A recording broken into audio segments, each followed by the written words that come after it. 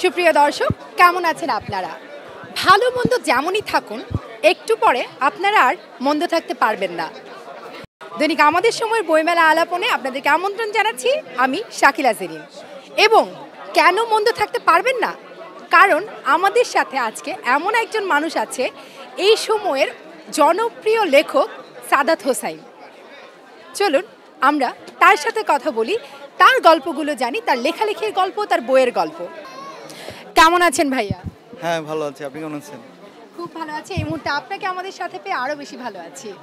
এই বছর আপনার যে প্রকাশিত বইগুলো সেগুলো নিয়ে জানতে চাই। এবছর অন্য প্রকাশ প্রকাশ করেছে আগুনডা নামে আর অন্য ধারা প্রকাশ করেছে তোমার জন্য দাঁড়িয়েছিলাম বলে। আচ্ছা।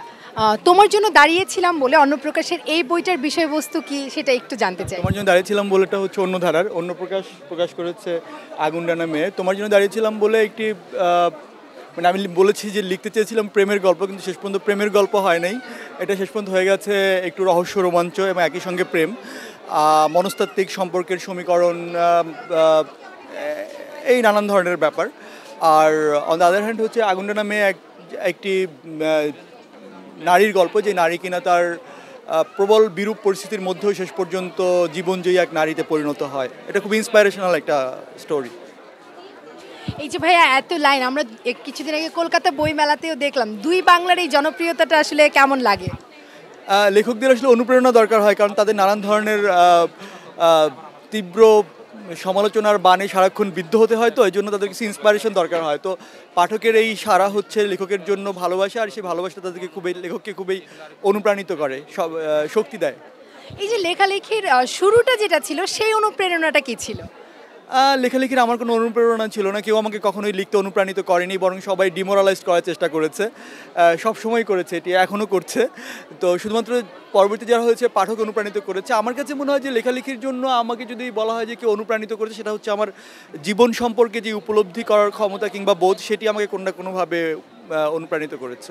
মাত্রই বলছিলেন ভাই আসলে ডিমোরালাইজ করার ব্যাপারটা আমরা অনেকেই ফেসবুকেও দেখে থাকি বা আলোচনাগুলো শুনে থাকি। এই যে নেগেটিভ আলোচনাগুলো সেগুলো আপনি কীভাবে নেন? না নেগেটিভ আলোচনা দরকার আছে বাট ব্যাপারটা হচ্ছে যে কনস্ট্রাকটিভ ক্রিটিসিজম হচ্ছে খুবই গুরুত্বপূর্ণ। কিন্তু আমাদের এখানে সেটা না হয়ে বরং ধরেন ধরেন কালকে আমাকে একজন ইন্টারভিউ নিতে এসছে সে এসে আমার বইগুলো নিয়ে তুমুল সমালোচনা করছে। তাই আমি বললাম যে আপনি, বলে আপনি খালি প্রেমের উপন্যাস লেখেন। আমি বলছি, কোনটা কোনটা প্রেমের উপন্যাস লিখেছি? বলল যে, প্রিয়তম অসুখ। আমি বলছি, আপনি এটা পড়ছেন? বলল যে, না। আমি বলছি, না পড়ছেন, তারপরে বলল যে ইয়ে তোমার নামে সন্ধ্যা নামে। আমি এটা পড়ছেন? বলল যে, না। আমি না পড়ে আপনি কীভাবে বললেন যে, এটা শুধু প্রেম আছে? পরে বলল যে না, আমি তো শুনেছি মানুষের কাছে। আমি বলছি, শুনলে হবে না, আপনাকে পড়তে হবে।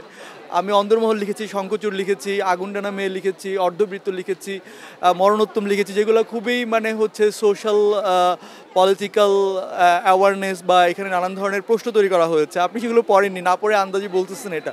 তো ব্যাপারটা হচ্ছে যখন আপনি কোনো একটা বিষয় নিয়ে আপনার মতামত দিবেন সেক্ষেত্রে অবশ্যই সেই বিষয়টা সম্পর্কে আপনার পরিপূর্ণভাবে জানা জরুরি।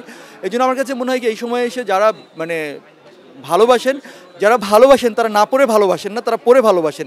কিন্তু যারা সমালোচনা করেন, তারা বেশিরভাগই না পড়ে সমালোচনা করেন। এই ফারাকটা আমার চোখে পড়েছে। খুব সুন্দর বলেছেন ভাইয়া, আমরা একটা ব্যাখ্যা পেলাম। তবে আরেকটা সমালোচনা আমরা দেখি যে সাদাতের লেখায় হুমায়ুন আহমেদের প্রভাব পাওয়া যায়। এই বিষয়ে আপনি কি বলবেন? এই বিষয়ে কথা হচ্ছে কি, বাংলাদেশে যারা যাদের লেখা পাঠক পড়ে, সবার লেখাই নাকি তার ছায়া পাওয়া যায়। এটি হচ্ছে একটি কমন ওই যে বললাম, এটা আরেক ধরনের জেনারেলাইজেশন এটা নিয়ে আসলে বলার কিছু নেই এবং আমি এরও বলব যে আমার যারা এই ধরনের কথা বলে, তারাও আসলে লেখা হয়, পড়ে না, অথবা তাদের মাথায় একটা প্রি ডিফাইন্ড ভাবনা থাকে এই থেকে বলে হ্যাঁ? এবং সেটা শুধু আমার না আমি দেখেছি যে সোশ্যাল মিডিয়াতে যারাই একটু মানে যাদের লেখা একটু পাঠকপ্রিয় হয়ে উঠছে তাদের সবাইকে একই কথা বলা হয়। হয়তো আমি একটু বেশি পাঠকপ্রিয় বলে আমাকে নিয়ে বেশি এই কথাটি বলা হয় কিন্তু যারা একটু একটু পাঠকপ্রিয় তাদের সবাইকে কথা শুনতে হয়েছে। সো এগুলো খুবই বেজলেস স্টেটমেন্ট এগুলো গুরুত্ব দেওয়ার কিছু নাই। খুব সুন্দর বললেন ভাইয়া। শেষ আরেকটা প্রশ্ন সোশ্যাল মিডিয়া এখন একটা টার্ম আমরা দেখি যে ফেসবুক লেখক অনেকটা নেগেটিভ অর্থেই ব্যবহার করা হয়। এই বিষয়টাকে আপনি কি বলবেন?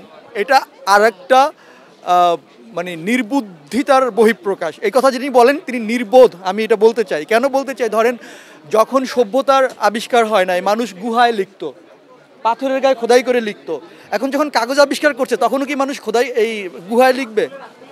মানে এই কথাটা, এই যুক্তিটা আপনি আমাকে বলেন।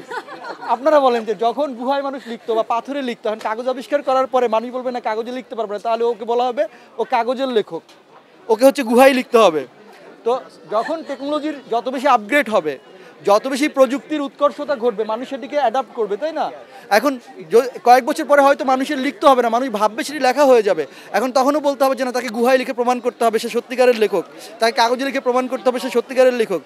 ভাই, এইসবের মধ্যে আমি না, এগুলো শুনলে আমার হাসি হাসি পায়, সত্যি কথা বলি।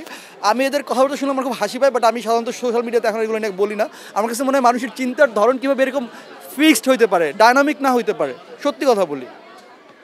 ঠিক আছে? খুব সুন্দর বলেছেন ভাইয়া। আপনার নতুন বইয়ের জন্য অনেক অনেক শুভকামনা আমাদের পক্ষ থেকে আমাদের সময়ের পক্ষ থেকে। Thank you thank you